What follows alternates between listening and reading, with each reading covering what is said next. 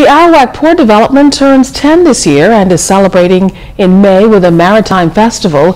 APD CFO Dion Bethel says this is a proud moment for the organization as it has worked extremely hard to achieve high regional standards.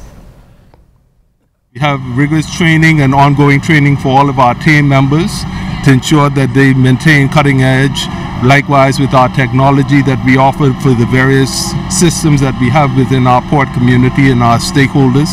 And one that is coming on stream is with Bahamas Customs and, our, and their electronic single window. Now, Bethel says this also extends to an annual audit process, which has been improving. He added that continued training has also helped to improve productivity at the port. We have rigorous training and ongoing training for all of our team members to ensure that they maintain cutting edge. Likewise, with our technology that we offer for the various systems that we have within our port community and our stakeholders. And one that is coming on stream is with Bahamas Customs and, our, and their electronic single window.